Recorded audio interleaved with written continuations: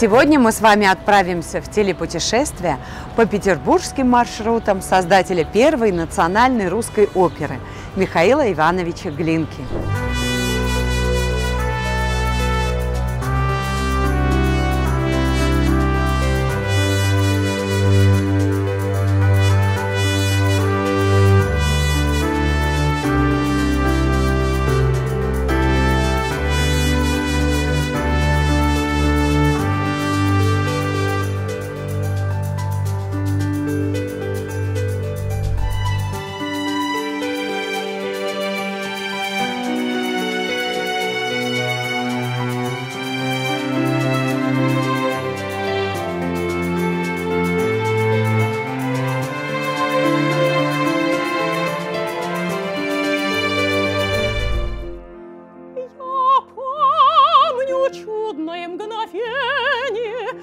Domnul!